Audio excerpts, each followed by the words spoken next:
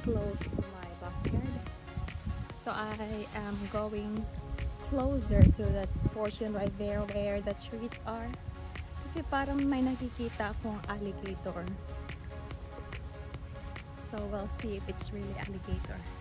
You see guys, that um, parang ibon dyan na puti.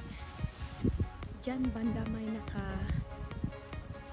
naka parking na may naka parking na alligator may naka parking may namamahinga na buaya. I think that's buaya. That's gator hindi. Ay! Ayun ayun! Ay! Chang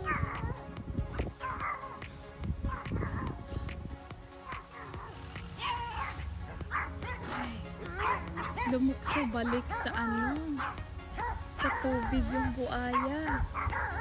Akala ko kainin niya yung pato o yung langgam. So did you see that guys? Ayun na andun na siya sa tubig. Ayan yan ayan ang buaya ayan. Ang bilis niya nakalukso sa tubig Takot ang mga buaya kung lapitan mo. Pero. Pero mag-ingat ka din kung sila din naman ang makabinta.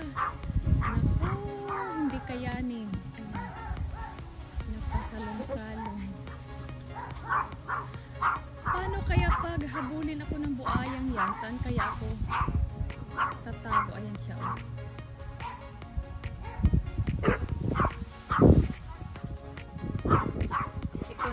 maliliit na aso. Ayan.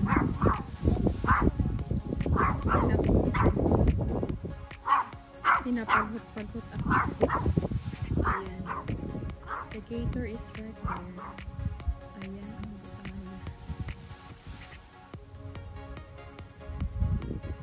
Lalapit kaya sa atin?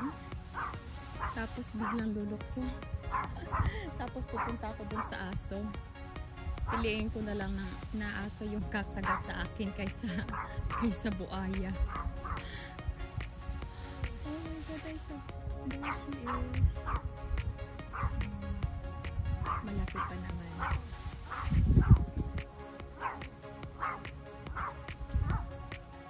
Medyo padaklin ako dito doon ako. Bulokso ako dyan, dyan banda. Kapag kapag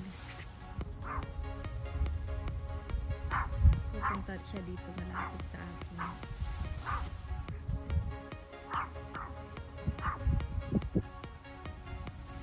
Looks like the buaya, the alligator is enjoying the waters.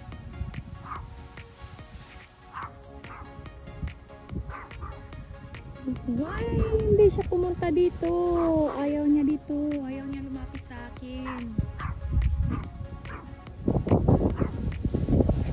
Sayang, hindi ko siya naabutan kanina. Ang bilis-bilis niya. Ayan, yan ang dahilan kung bakit hindi ka pwedeng maligo sa lake na ito. Kasi ang dami-dami nila dyan. Madami sila dyan. I just remember guys, one time, yung aso ko, ano, nakabuhi sa, sa ano namin, sa, sa fence namin. Ano, ba yun?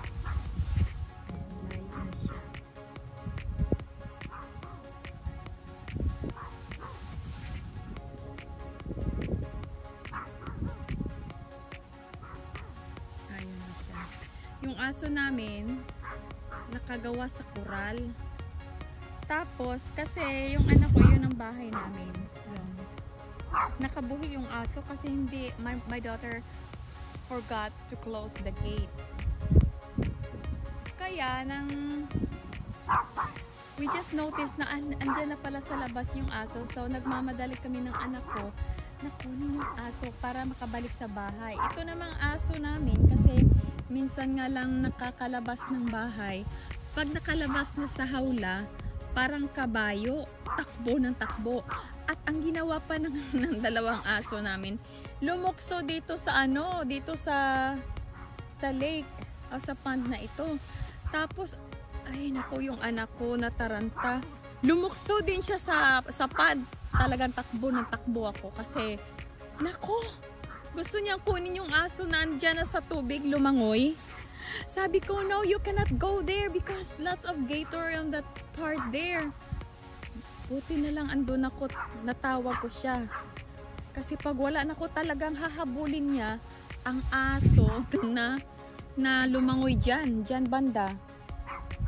Takot na takot ako. Tapos yon humahon yung anak ko sa, sa tubig. Tapos tiningnan na lang namin ng aso. Wala na kami magawa. Diyan na siya sa kalagitnaan ng tubig. Sa awa ng Diyos, dumating naman siya doon, banda sa end. Yung aso na hindi naman nakain ng, ano, ng buwaya. Yun, para akong naib naibta ng tinik. Yep guys, my dog jumped on this area there. Yep, they jumped and then swam across this this um, body of water there. And I'm just glad that the crocodile or the alligator wasn't able to catch the dog and eat it for lunch. That would have been a big lunch for them. So, yan. We have lots of gators in this area here. But I'm so surprised that during late afternoon, there are also lots of very pretty birds that, you know, hang, hang around here. They like it here. So, I, I just don't, I have not seen so far birds, big birds, that is eaten by alligator. Yep, that's, oh, ano, andun pa siya. oh. Andun pa, nagpasalong-salong pa. Anyway, guys, that's all that I can share for you today. You guys be safe and have a wonderful day ahead. Bye!